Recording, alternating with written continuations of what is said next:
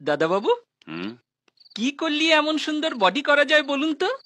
আরে রোজ দশ প্যাকেট করে বিমল খেলেই বডি হয়ে যাবে। ও এগুলো কি বলছে? বলো কাজে খোর বিমল খোর ও হ্যাঁ। বিমল খোর কি বলবে বলো? দেখো আমি কিন্তু খুব পোস্ট কঠার মেয়ে। খুব বিমল খোর মনের কথা একদম চেপে রাখতে পারি না। তোমাকে প্রথম দেখেই আমার তোমার কাছ থেকে বিমল খেতে ইচ্ছা করছে। আর যখন শুনলাম তুমি একটা পাক্কা বিমল খোর তখন থেকে আমার আরও তোমার কাছ থেকে বিমল খাওয়ার ইচ্ছে বেড়ে গেছে। ইস মিথ্যে কথা। আর আজ আমি যখন তোমাকে বিমল খেতে দেখলাম তখন তোমার বিমল খাওয়া দেখে তোমার প্রতি আরও আমার বিমল খাওয়ার ইচ্ছে বেড়ে গেল।